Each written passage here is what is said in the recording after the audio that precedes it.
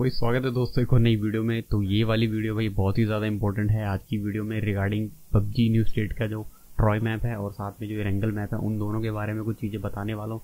अगर आप लोग इरेंगल मैप खेलते हैं तो ये वीडियो आपके लिए भी है और अगर आप ट्रॉय मैप खेलते हैं तो ये वीडियो भी आपके लिए। तो भाई वीडियो बहुत ज़्यादा इंपॉर्टेंट है। तो वीडियो को शुरू से लेकर एंड तक ज़रूर देखना और अगर आप चैनल पर नए हैं तो सब्सक्राइब मार दो भाई अभी जाके। और अगर सब्सक्राइब कर दिया है तो भाई दिल से बहुत थैंक यू आपको सब्सक्राइब करने के लिए सपोर्ट करने के लिए। तो भाई आज की वीडियो में बात करेंगे कि कौन सा मैप जो है आपके लिए सही रहेगा। ये मेरा पर्सनल ओपिनियन है, जो मेरे पास इन्फॉर्मेशन है। उसके रिगार्डिंगली मैं आपको बता रहा हूँ कि आपको कौन सा मैप खेलना चाहिए। बाकी तो भाई आपकी मर्ज़ी, आप जो सा मर्ज़ी खेलो। उसमें मैं कुछ नहीं कर सकता। लेकिन अब बात करने वाले हैं ट्रॉय और इरेंगल की। तो भाई इरेंगल मैप जो है ना ऑलरेडी आपको पता है कि यार बहुत पुराना मैप है, दो ढाई साल से इरेंगल चल रहा है। पबजी न्यू स्टेट के अंदर थोड़ा रीमोडिफाइड होके आया है। कुछ टेक्सचर वगैरह बिल्डिंग बिल्कुल नया, नई तरह से आया है। एक तरह से इसको एक नया एंगल भी बोल सकते हो। लेकिन यहाँ पे एक चीज़ और है कि पबजी न्यू स्टेट का जो बेसिक मैप है ना, पबजी न्यू स्टेट का बेसिक है अपना ट्रॉय मैप तो अभी एक एक चीज़ मैं और बता दूँ कि ट्रॉय मैप आपको क्यों क्यों खेलना चाहिए? तो ट्रॉय मैप के रिगार्डिंगली जो भी इन्फॉर्मेशन है उन्हें देने वाला हूँ आपको। देखो, एक तो सबसे बड़ी बात है कि ट्रॉय मैप जो है ना, वो पबजी न्यू स्टेट का आइकन मैप है। मतलब सबसे ज़्यादा जो काम हुआ है ना, वो ट्रॉय मैप के ऊपर हुआ है। तो भाई इसलिए भी आपको ट्रॉय मैप खेलना चाहिए। और साथ में आपको पता ही है कि ट्रॉय मैप के अंदर ही न्यू कार है जो आपको स्किन मिली है भाई। उस, वो भी वैनम की। तो वो वाली कार भी जो है ना, वो भी भाई न्यू स्टेट के अंदर ही है। वो आपको रेंगल में देखने को नहीं मिलेगी। और भी जितनी गाड़ियाँ बाइक्स वगैरह हैं, सारी की सारी आपको भाई ट्रॉय मैप के अंदर ही देखने को मिलेगी। तो ये भी एक रीज़न है कि आपको ट्रॉय मैप ज़रूर खेलना चाहिए।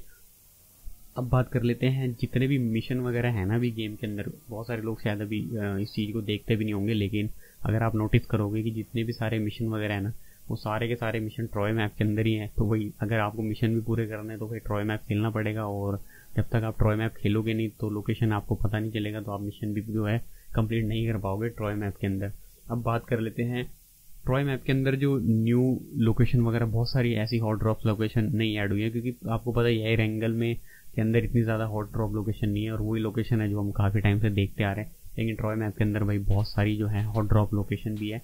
तो ये भी एक रीज़न है कि आपको भाई ट्रॉय मैप खेलना चाहिए, नई जो जगहें हैं उनको एक्सप्लोर करना चाहिए।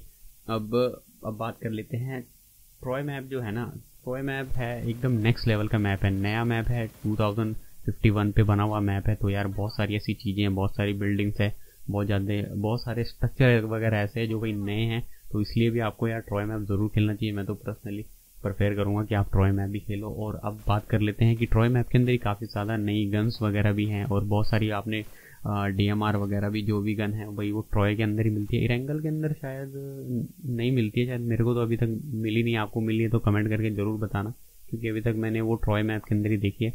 तो नई गन्स अगर आप डी एम आर वगैरह ट्राई करना चाहते हो तो भी यार ट्रॉय मैप आपके लिए बहुत ज़्यादा ज़रूरी है। आप ट्रॉय मैप खेल सकते हो।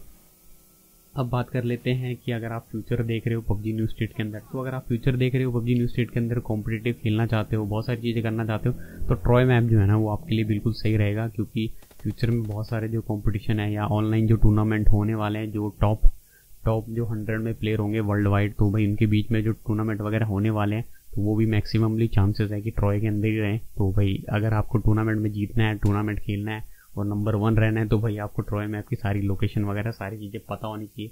तो ये भी एक रीज़न है कि आपको भाई ट्रॉय मैप जो है, वो खेलना चाहिए, मेरे ओपिनियन से। अब आपका क्या है इसके ऊपर तो आप सोच सकते हैं, लेकिन मैं आपको सिर्फ़ बता ही सकता हूँ कि ट्रॉय मैप आपको क्यों खेलना चाहिए। और एक सबसे इम्पोर्टेंट बात है, लेकिन मज़ेदार बात यह है कि अभी जितने भी लोग खेल रहे हैं रैंक पुश के लिए खेल रहे हैं, कोई कॉन्करर जाना चाह रहा है तो भाई बहुत सारी चीज़ें ना, कोई मास्टर करना चाह रहा है।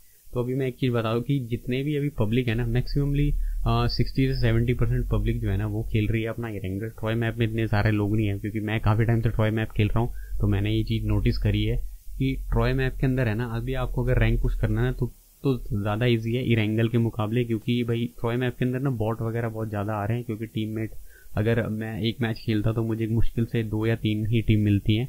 और बाकी तो सब बॉट ही मिलते हैं तो भाई अगर रैंक पुश करना है ना तो ये सबसे ईजी तरीका है कि आप ट्रॉय मैप खेलो और दबा के रैंक पुश करो तो ज़्यादा ईजी है अगर आपको रैंक पुश करना है।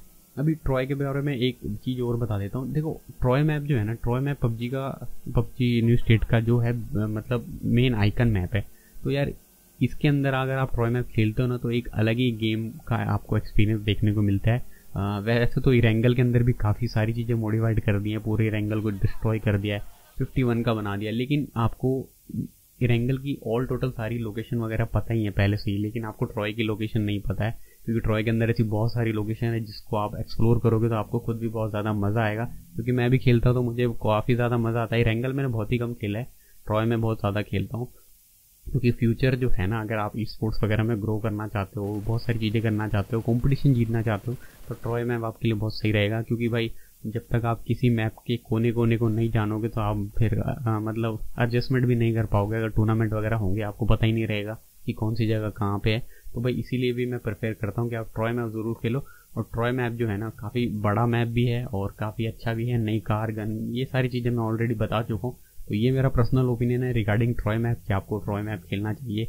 आपका क्या ओपिनियन है? कमेंट सेक्शन में ज़रूर मेरे को बताना, क्योंकि भाई आप लोगों का जो कमेंट होते हैं, मैं पढ़ता हूँ तो मुझे कुछ नई चीज़ें सीखने को भी मिलती हैं तो कमेंट ज़रूर कर देना। और अगर आप सब्सक्राइब नहीं किया अभी तक तो भाई कर दो, क्योंकि फैमिली को भाई आप बड़ा करने वाले डेल्टा वाली फैमिली को तो भाई सब्सक्राइब ज़रूर कर देना। और मिलते फिर नई वीडियो में, तब तक के लिए जय न्यू स्टेट